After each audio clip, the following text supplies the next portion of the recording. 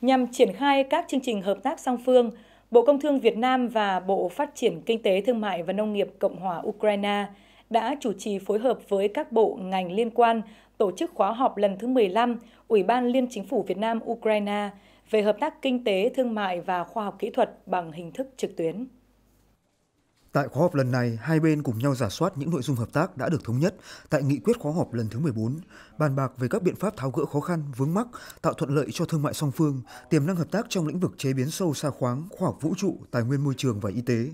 Theo Bộ Công Thương Việt Nam, năm 2020, Việt Nam xuất khẩu sang Ukraine đạt gần 285 triệu đô la Mỹ, tăng trên 15%, nhập khẩu từ Ukraine đạt 194 triệu đô la Mỹ, tăng gần 59% so với năm 2019. Hiện Ukraine có 27 dự án đầu tư trực tiếp tại Việt Nam với tổng vốn khoảng trên 30 triệu đô la Mỹ, đứng thứ 67 trên tổng số 138 nước và vùng lãnh thổ đầu tư vào Việt Nam.